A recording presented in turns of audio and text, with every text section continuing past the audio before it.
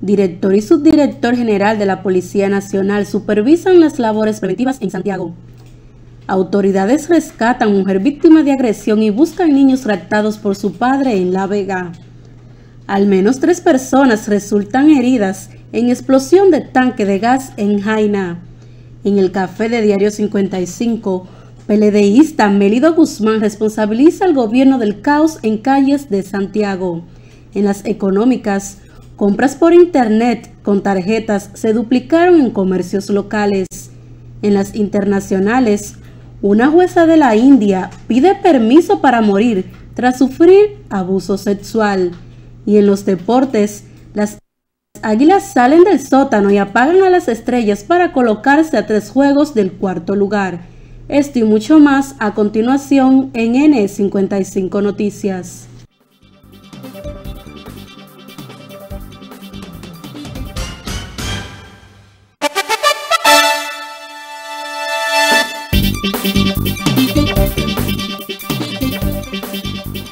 Saludos, le damos la bienvenida a N55 Noticias. Ya a partir de este instante estamos listos para ponerles al tanto con las informaciones relevantes, temas destacados. Viernes 15 de diciembre. Muchas gracias por estar allí presente y gracias a los que están conectados a través de las redes sociales del Facebook, viendo la programación, ¿verdad? Nuestra de acá de Super TV y en este momento de N55 Noticias. Vamos a los detalles de las informaciones de las cuales ya usted conoció parte de nuestro contenido a través de nuestros titulares. Mire, supuesto delincuente herido, ahí está, de bala por sargento, cuenta la versión de los hechos. Sí, porque quiso conversar su situación y esto fue luego de permanecer ingresado en un hospital de esta ciudad de Santiago y sometido, ser sometido a dos cirugías por seis heridas de balas que le ocasionó un sargento, dice él de la Policía Nacional, la noche del pasado domingo, Arturo Sosa, da su versión del hecho que casi le cuesta la vida. Habla para las cámaras de N55. Yo fui a buscar a hijo mío por los tocones. Cogimos toconcho esa muchacha, quizás le pasamos cerca, ella se asustó. A ella, a ella ven como cuando no había luz por ahí. Estamos lo que le dio tiro de una vez sin pensarlo. En ningún momento tú le disparaste. No, Ni, ni armado tampoco. Vi que pusieron como una pistola, un revólver, no sé. ¿Esa arma te la pusieron? Supuestamente, yo no tengo nada. ¿No andaba armado en ese no, momento? No, con un motoconcho. El hijo mío vive, vive por ahí, yo fui a buscarlo. Pues yo tenía tres días trabajando en el ¿Cuántos disparos recibiste? Seis. ¿Los médicos qué te dicen? Yo no sé cómo me sacaron hoy. Porque todavía no era hora de sacarme. Porque todavía yo no siento el cuerpo. ¿Hubo que hacerte una cirugía con esto? Dos cirugías. ¿Tú crees que se ha hecho contigo que te han violado tu derecho? Claro que sí. Y la policía está cogiendo esto, tú sabes ya, porque hablan porque pues la ficha. Yo soy delincuente.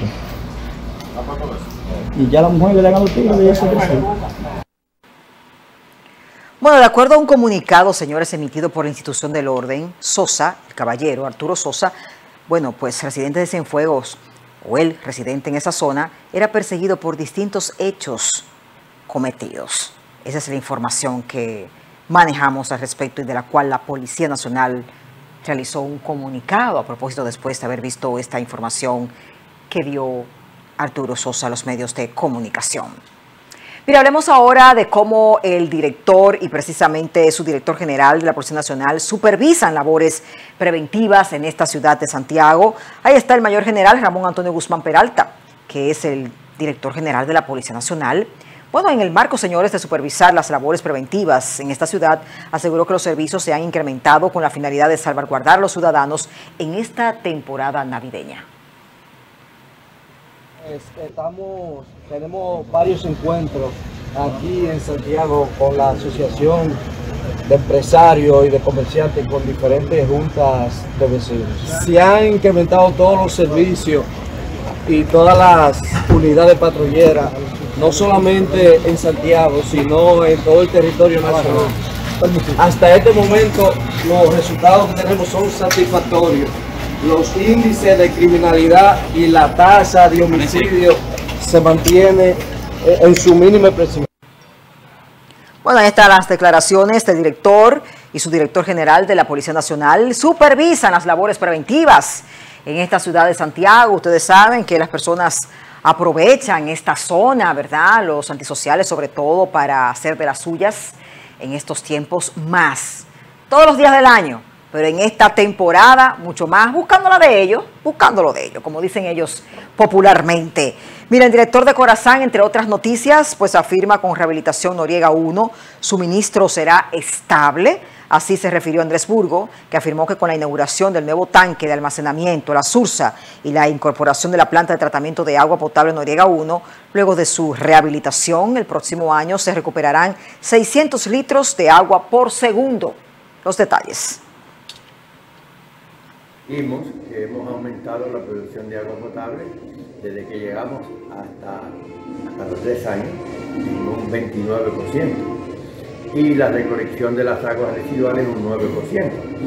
Estos, estos porcentajes van en incremento. ¿Por qué? Porque ya a principio del próximo año eh, se incorporará lo que es la Noriega 1 cuando se termine de rehabilitar, eh, con lo cual vamos a recuperar 600 litros por segundo. Eh, como, consecuencia de la modernización de los procesos que ahí se van a realizar, mucho más moderno y nos dará agua de más calidad. Bueno, las palabras del director de Corazán afirmando, ¿eh? Esta rehabilitación de la Noriega 1 y el suministro será estable. Dice que ya para el próximo año se recuperarán 600 litros de agua por segundo. La población contenta con esta información a propósito de que hay muchos sectores todavía pasando las de Caín, como dicen por allí popularmente, que no les llegue el suministro del agua potable y que espera que ya con esta solución pues puedan estar más en paz por su zona con el asunto este del tema del agua. Mire, otros temas para ustedes y mostramos imágenes enseguida de cómo pues la Junta Directiva de la Asociación de Comerciantes Industriales realizó una sesión ampliada sobre temas de seguridad ciudadana en la que participaron allí el ministro de Interior y Policía Jesús Vázquez Martínez y el mayor general Ramón Antonio Guzmán Peralta, director de la Policía Nacional. Allí compartieron las estrategias ¿eh? en curso para combatir la delincuencia y la criminalidad en Santiago. Otro tema interesante e importantísimo que se trató allí. Vamos a compartirlo ahora. Hoy podemos decir que estamos casi cerca de un dígito en Santiago. Quiere decir que estamos en 10 puntos y pico y con un esfuerzo adicional, pues nos pondríamos en un dígito. Cosa que nunca se había visto durante los últimos 30 años en la ciudad de Santiago. Bueno, el ministro de Interior y Policía y Junta Directiva de la ASIS tratan temas de seguridad de esta ciudad de Santiago. Qué bueno allí reunidos buscando el porvenir, el bienestar de los ciudadanos de la población de la ciudad de Santiago que está, mire, a coger el monte a todas horas del día y más en esta temporada navideña. No está nada fácil el asunto, pero ahí está la policía, todos reunidos, buscando una solución para evitar peores males. Nosotros en este momento les presentamos a ustedes a nuestro invitado especial de hoy del Café de Diario 55. Como en el día a día hacemos un resumen de calidad a ustedes con los temas esenciales y básicos planteados, tratados por nuestros invitados especiales. Arturo Taveras, nuestro director de prensa, nos cuenta y nos amplía en este momento de qué se trató hoy la conversación de la entrevista. Al ser entrevistado en la revista matutina El Café de Diario 55 del canal Super TV 55, Mélido Guzmán defendió la alcaldía que dirige Abel Martínez de las acusaciones sobre el desorden que hay en Santiago, el cual dijo es producto de la improvisación del gobierno en la construcción de obras como el teleférico y el monorriel. El caos que vive el tránsito de Santiago, ocasionado en más de un 80% por la Administración General de la Nación, por las construcciones que está haciendo sin planificación, porque están construyendo el monorriel, por ejemplo, que debió, si lo hubiesen planificado ya tuviera en funcionamiento el primer tramo, que debió ser desde su inicio hasta el parque de Zona Franca. Sin embargo, cogieron ese tramo, destruyeron la ciudad por esa parte, la parte de lo que concierne el fuego, que es parte de nuestra provincia. Eh, rompieron la carrera, rompieron la Yapudumí, la estrella Sadalá, la, la, la estrella Sadalá imparte por ahí por la Universidad la Pucamaima, también lo tienen en, en, la 20, en la, toda la 27 de febrero, desde donde está Colina Amor hasta donde está la parada principal, y con el teleférico por igual. Sostuvo además que tiene la sospecha de que el desorden que ocurre en las vías públicas de Santiago y las denuncias sobre el cúmulo de basura en el hospedaje ya que es parte de un plan orquestado por sectores del gobierno y del PRM para politizar el tema con el objetivo de afectar las candidaturas de Abel Martínez a la presidencia de la República, así como de Víctor Fadul a la alcaldía de Santiago. De una manera sospechosa para dañar la imagen de la ciudad, porque recuerda que estamos en un proceso electoral.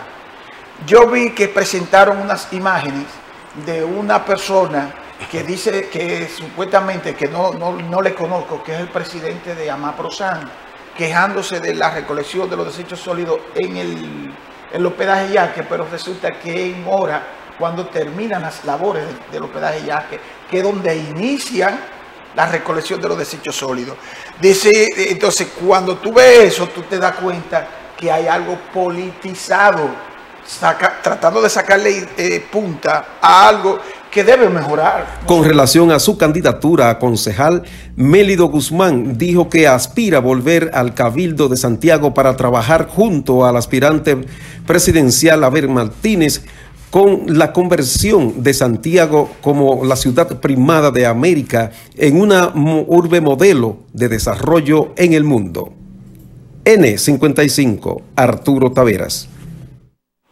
Bueno, y ya accesado ustedes a nuestro periódico digital diario55.com para mantenerse al tanto actualizado con las noticias más destacadas y relevantes que minuto a minuto estamos colocándoles y poniéndoles al día, como los temas tratados con nuestros invitados especiales también el día a día. Así que allí, a través de nuestro periódico digital, usted puede conocer todas estas informaciones del lugar actualizadas. Pausamos en este momento. Al regreso, señores, las imágenes y mostramos cómo Portoplateño muere a manos de banda de atracadores en Santiago. Esa es la situación. Después, joven casi pierde la pierna, señores, en accidente de tránsito. Y esto pasó en la avenida Bartolomé Colón. Traemos los detalles, la historia completa de cómo se dio, qué pasó allí. Solo unos minutos. No se vaya.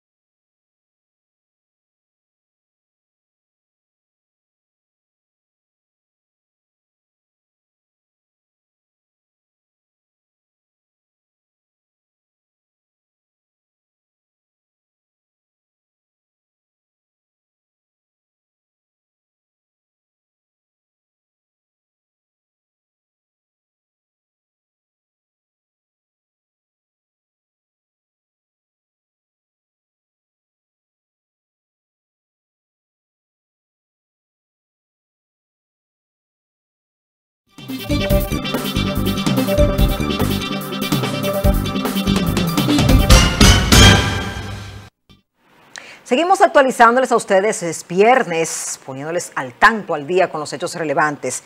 Miren, vamos a mostrarles cómo este hombre que permaneció varios días, pues ingresado en un centro, señores, de salud por las heridas provocadas por integrantes de una banda de atracadores, murió la noche de ayer jueves en el barrio Los Santos de esta ciudad de Santiago. La víctima fue identificada como Alberto Díaz, nativo de la comunidad de Puerto Plata. Los restos de Díaz son velados en Santiago y se espera sean sepultados en la tarde de este viernes en su comunidad natal del municipio de Inver, Puerto Plata. Los familiares no se imaginan ustedes el sentir, el dolor, el pesar, la impotencia de los familiares que reclaman que se hagan justicia y sean apresados los responsables de cometer el crimen. Puerto Plateño muere a manos de banda de atracadores en esta ciudad de Santiago. Esa es la información que manejamos en este bloque y que lamentablemente compartimos que una persona haya tenido que partir por manos de delincuentes de esta manera y más de cómo está la delincuencia en nuestras calles arropando en el día a día por lo menos hemos ya pasado la información de que ya se han reunido tanto, ¿verdad?, la policía para buscar seguridad en estos días, pero siempre algo se escapa de las manos y eso es lo que ellos están trabajando, las autoridades correspondientes. Miren, vamos a otros temas. Mostramos el accidente con imágenes que compartíamos antes de la pausa como expectativa de este joven que se suma a la lista de accidentes ocurridos en este 2023, los cuales han sido desgarradores, que han cobrado incluso vidas humanas y sumergido en dolor y tristeza decenas de familias dominicanas. El hecho ocurrió hoy viernes en la avenida Bartolomé Colón, en esta ciudad. Al lugar de allí se apersonaron curiosos como también la DGCET y una unidad de la Policía Nacional. Tenemos audio de lo vivido en el presente cuando se dio la escena.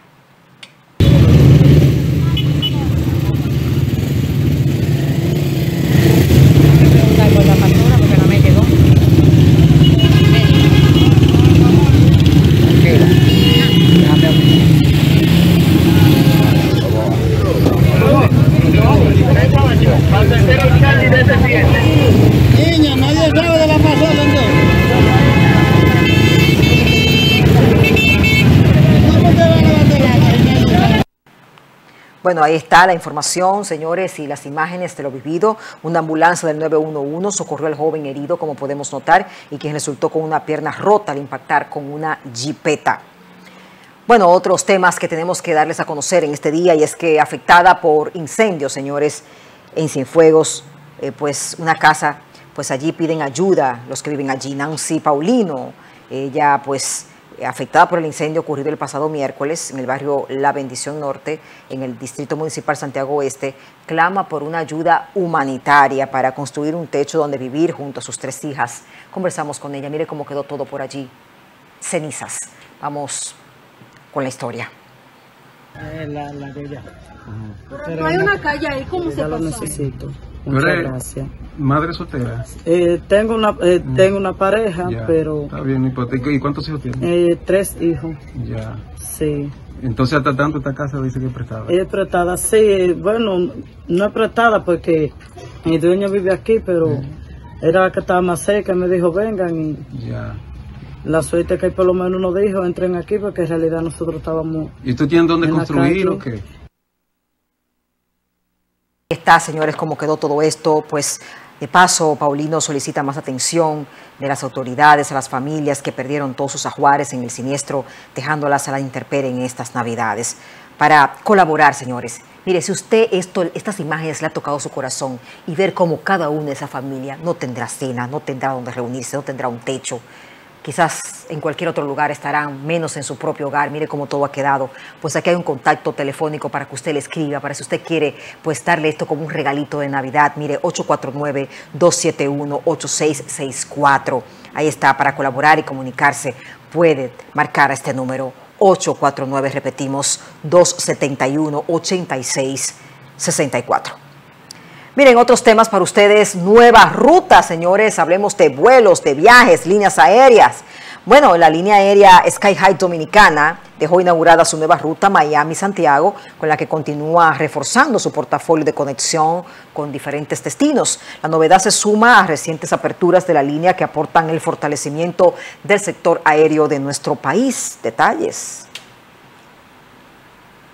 Las aerolíneas dominicanas están eh, comenzando a ser vistas incluso como competencia de muchas otras. Pero qué bueno, mientras más competencia, nosotros como consumidores estamos mucho mejor. Conseguimos mejores precios, tenemos mejores opciones, exigimos mejores servicios. Con esta nueva ruta uniremos no solo la ciudad de Santiago, la metrópolis e importante centro económico financiero de nuestro país, sino a toda la zona del Cibao, conectando tanto el pasajero étnico, el turista, así como también el corporativo. Esta iniciativa fue destacada por Teófilo Gómez, administrador general del Aeropuerto Internacional del Cibao. Allí lo vemos. Están ya oficializando esta nueva pues, eh, ruta de Santiago-Miami. Es la línea aérea Sky High. Ahí está la información correspondientes para los viajeros, en especial en esta temporada y siempre. Bueno, nosotros pausamos en N55 Noticias, más temas en pocos minutos, es viernes, estamos actualizándoles. No se vaya.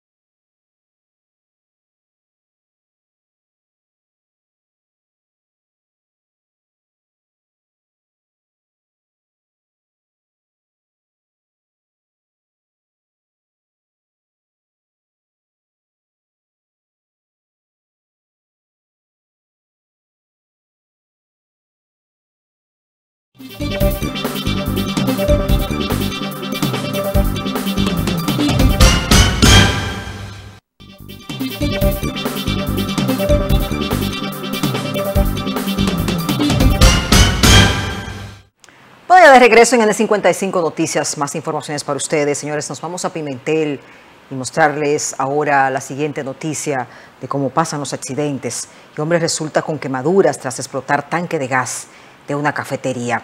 Este hombre resultó con graves quemaduras, señores, en la cafetería Family, ubicada en el sector Villa Olímpica del municipio de Pimentel.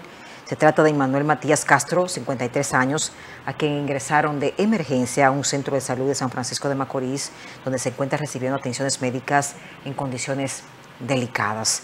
El cuerpo de bomberos de esa ciudad, en coordinación con una unidad del municipio Castillo, pues pudieron sofocar a tiempo el incendio, evitando se propagara más. Un informe preliminar establece que la explosión se debió a una fuga en la conexión del cilindro de gas. Algo tremendo. Otras noticias para ustedes. Mostramos ahora cómo autoridades rescatan mujer víctima de agresión y buscan hijos raptados por el padre en La Vega. Tenemos el reporte con Keren Robles. La fémina identificada como Luz Clarixa Enríquez fue presuntamente rescatada en el barrio Profesor Juan Bosch de esa ciudad.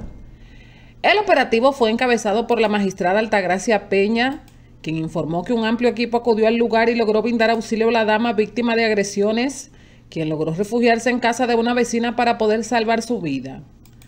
La representante del Ministerio Público informó que gracias a las informaciones ofrecidas por la Junta de Vecinos, lograron acudir al lugar para impedir que el individuo identificado como José Ismael Gutiérrez pudiera cumplir su cometido. La magistrada Peña informó que a Luz Clarix se la llevarán a la unidad de atención a la víctima para darle atención psicológica. Para N55 Noticias, Keren Robles. Bueno, entre otros temas, les compartimos ahora, miren la información de Puerto Plata, que es catalogada, señores, una de las provincias más seguras del país, según el abogado. El abogado Carlos Reynoso Santana ha manifestado esto en la provincia de Puerto Plata y se encuentra catalogada como una de las más organizadas y tranquilas en temas de la delincuencia. Escuchemos. Tenemos seguridad, la seguridad en la calle hoy es más fuerte que nunca. La Policía Nacional está haciendo su trabajo. Y oye, con mucha especialidad aquí en Puerto Plata.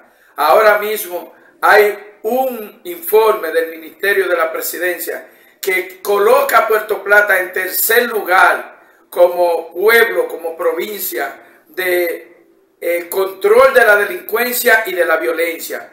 De modo que el gobierno se ha empeñado en desarrollar una política económica, social, de trabajo, de salud, de educación y de todos los términos en general, de manera transparente, como nunca se había visto en gobiernos anteriores. Información precisamente del abogado Carlos Reynoso manifestando que la provincia de Puerto Plata se encuentra catalogada como una de las más organizadas, de mayor seguridad a los residentes y visitantes que marchan por esa demarcación. En ese sentido, el togado afirmó que esto es debido a la labor de la, del presidente de la República y las autoridades que han logrado que los hechos delictivos en esa zona del país se hayan reducido significativamente. También dijo que a raíz de la excelente labor del mandatario Binader, es seguro su triunfo en primera vuelta en las próximas elecciones 2024. Entre uno de otros temas que trató a propósito de hablar cómo se encuentra pues la novia del Atlántico en cuanto a seguridad. Mm, que no lo diga en voz alta, porque de verdad que no es tan fácil el asunto. Señores haitianos tiran al río. Masacre el portón en la ciudad de Juana Méndez, fronteriza con Dajabón.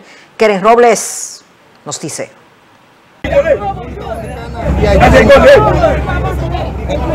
Se acabó Los nacionales del vecino país llevaron a cabo la acción en protesta por el cierre al comercio que mantienen las autoridades haitianas tras las medidas adoptadas por República Dominicana por la construcción de un canal en el río Masacre, argumentando que se cansaron del chantaje de sus autoridades. Alrededor de las 3 de la tarde, los haitianos cortaron el candado que mantenía cerrado el portón de hierro utilizando una cizalla. El hecho sucedió ante la mirada indiferente de los agentes de la Policía Fronteriza de Haití, Polifrón, que se encontraban en el lugar. Luego usaron una patana para desprender el portón, acción que completaron con mandarrias y finalmente lanzaron desde el puente hacia el río fronterizo. Esta situación provocó una respuesta inmediata por parte del gobierno dominicano, con el reforzamiento de la seguridad en la línea limítrofe con tropas del Ejército de la República Dominicana y del Cuerpo Especializado en Seguridad Fronteriza CESFRON. Para N55 Noticias, Keren Robles.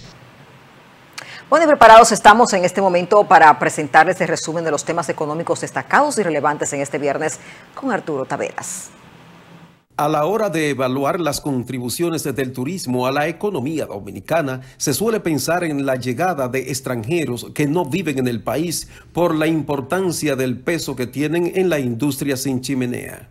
Sin embargo, los dominicanos residentes y no residentes agregan un importante valor al turismo, generando un conjunto del 39% del total que aporta ese sector respecto al Producto Interno Bruto del país. El Banco Central de la República Dominicana informó que para el periodo enero-noviembre 2023, las remesas recibidas alcanzaron la cifra de 9.212.2 millones de dólares, lo cual representa un crecimiento del 3,4% en comparación con el mismo periodo, pero del año anterior 2022. El volumen de compras realizadas por Internet con tarjetas bancarias se duplicó en los negocios nacionales al pasar de 16.7 millones de transacciones en septiembre de 2022 a 33 millones en el mismo mes, pero del año 2023, lo que representa un crecimiento de un 98%, según informó la Asociación de Bancos Múltiples de la República Dominicana. La Comisión Económica para América Latina y el Caribe, CEPAL, actualizó sus proyecciones de crecimiento económico para los países de la región al pasar balance preliminar de las economías 2023, en el cual República Dominicana fue proyectado como el país que más crecería en el año 2023, al pasar de 3.1% al 4.1% del Producto Interno Bruto Nacional. Autoridades de los Estados Unidos identificaron por primera vez el uso de la inteligencia artificial como una vulnerabilidad al sistema financiero mundial, según informes. Los programas de la inteligencia artificial generativa pueden producir rápidamente textos, imágenes y audios a partir de órdenes sencillas, lo que constituye un grave peligro para los bancos del mundo. Según las Naciones Unidas, se ha lanzado un proyecto para luchar contra la crisis climática mundial. Es necesario vigilar la rápida evolución de la inteligencia artificial, incluida la generativa, según el Banco Mundial y las Naciones Unidas. N55, resumen económico, Arturo Taveras.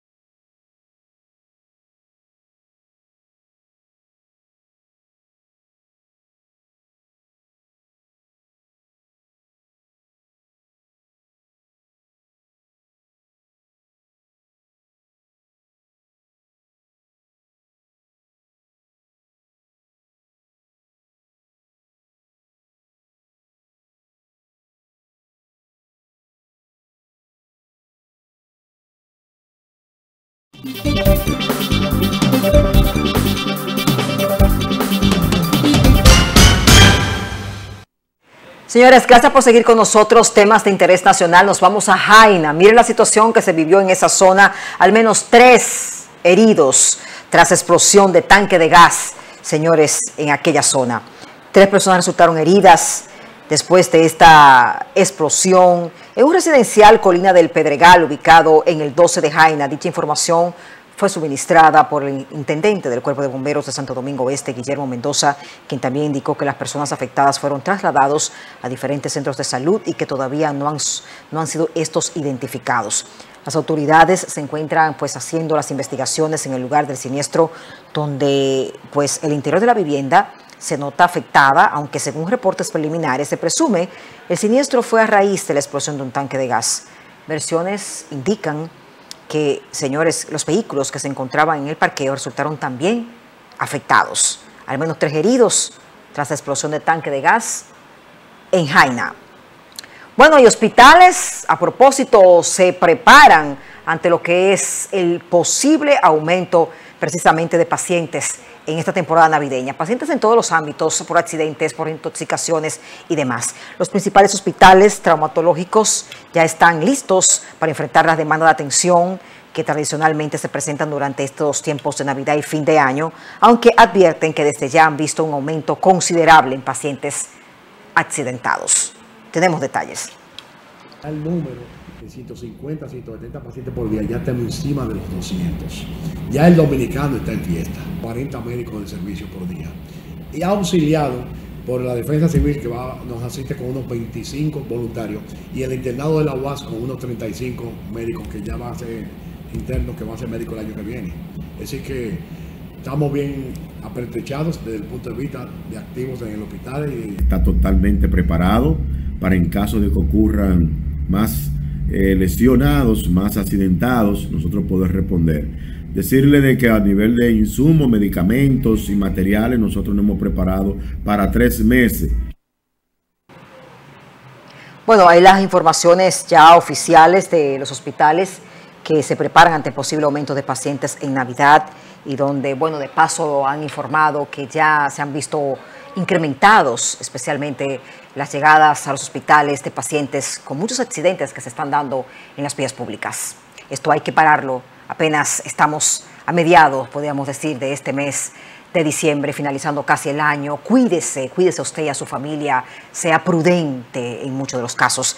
Miren, vamos a hablarles de las condiciones climatológicas. De paso hay que conocer qué dice la UNAME para este tiempo, viernes, fin de semana, conocer cómo andamos. Y es que se mantienen los niveles de alerta meteorológica y recomendaciones en ambas costas del país, especialmente el Ceiba, Tomayor, Monteplata, Samaná, allá en esos lugares, lluvias para Vega, Puerto Plata, Montecristi, producto de una vaguada, señores, que se manifiesta en varios niveles de la troposfera y a lo largo del día permanecerá provocando estas precipitaciones que usted ha notado hacia San Cristóbal, Santo Domingo, La Romana, San Pedro de Macorís y también aquí en Santiago, eh, ha llovido bastante.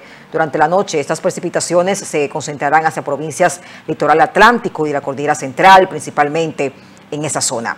Así que mostramos las provincias para este día que tienen pues las, el pronóstico del tiempo para que usted conozca cómo están las temperaturas y sus condiciones climatológicas hoy viernes.